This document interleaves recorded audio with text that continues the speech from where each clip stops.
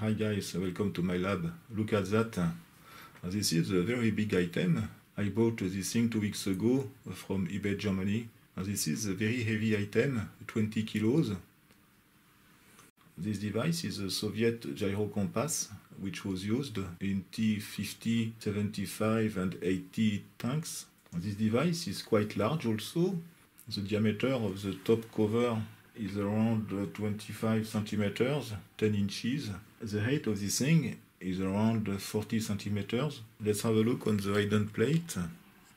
So I can read a little bit Russian that it is written here. So we have a three-phase power supply, 400 Hertz, 36 volts. This is obviously the power supply for the gyro motor inside. We have pins 4 and 5. So this is written azimutal naya correctia. So this seems to be the correction for the azimut output. We have three pins uh, written plus uh, 27 volts. Between pins uh, 7 and 8 it is written signalizatia aretera. I don't know what does it mean. Between pins 10 and 11 it is written horizontal naya correctia. So this is the correction for the other axis. The remaining pins, I think, are the synchro outputs. There is another connector, number two, this one. So this is obviously the power supply, 27 volts. As you can see, this thing is mounted on shock absorbers. There are three shock absorbers actually, and there are also uh, two dampers. One is here, and the second one in the opposite side.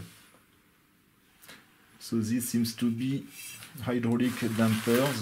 So this is a very serious design. On the opposite side, there is a connector box. Okay, so this is a seal. So this is effectively a kind of wax. I need to remove the wax.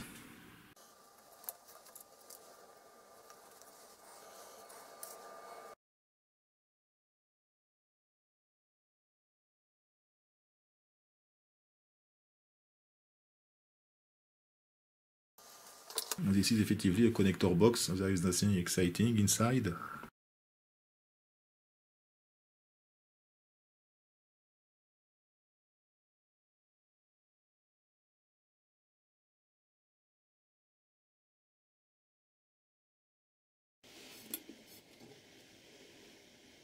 Wow, look at that, effectively.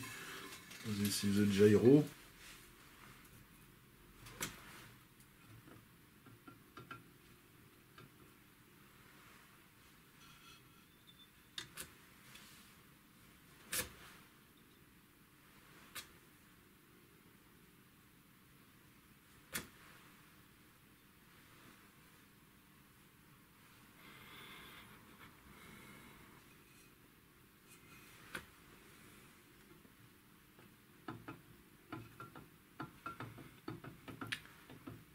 It seems that uh, this thing is locked. There should be an electromagnet or something to unlock that thing.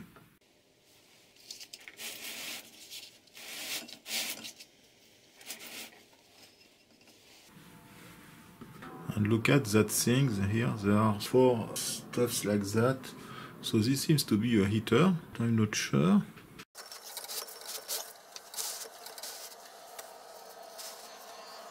These are the connections uh, to these uh, strange things here. This should be a heater. Because effectively a tank is supposed to be used also in cold environments. So this permits probably to increase the inside temperature.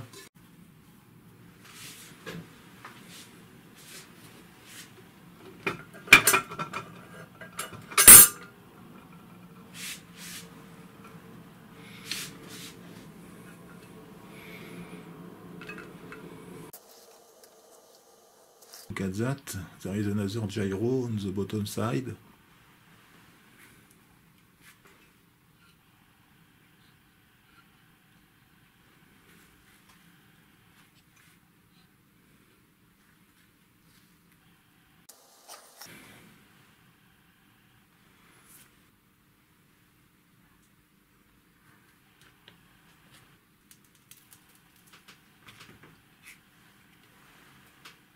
We can see that there are only three wires which are connected to this gyro.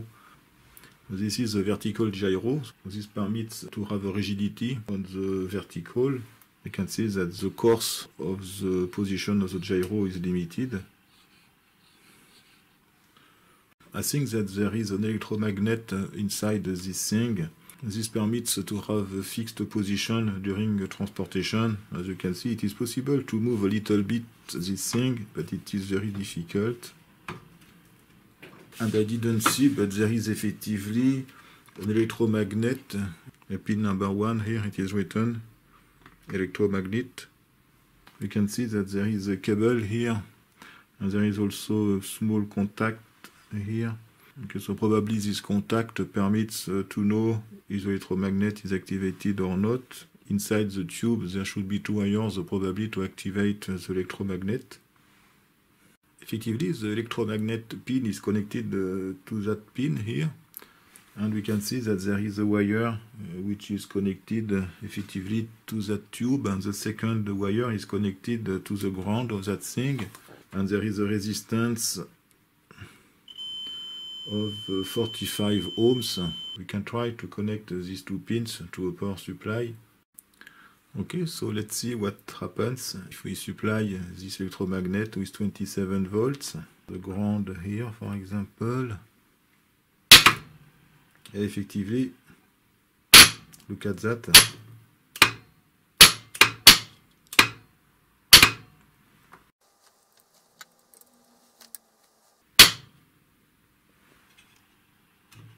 Okay, and now the gyro is free.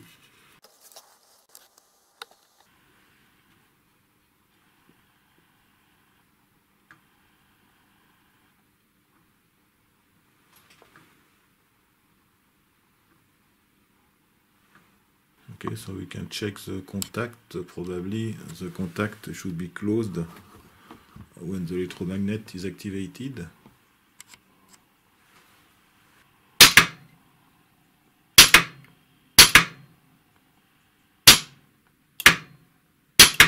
Okay.